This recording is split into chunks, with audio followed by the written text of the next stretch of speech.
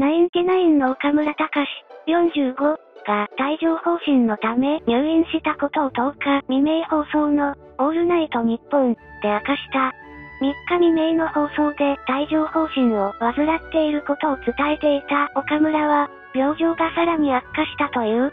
痛み止めが全然効いてなくて、3日放送のラジオで喋ってる時は全然大丈夫。CM とか終わった瞬間から激痛が走っていたんです。と痛みと戦っていた。夜が明けた3日、昼のテレビの収録中にも激痛が走ったため終了後、病院へ行くと、即入院、と診断された。痛すぎて寝られない。それで、飲み薬を飲んでたんですけど、もう、点滴の中にウイルスを撃退する薬を入れるのかな。それ入れて、夜から点滴入れて、1日3回。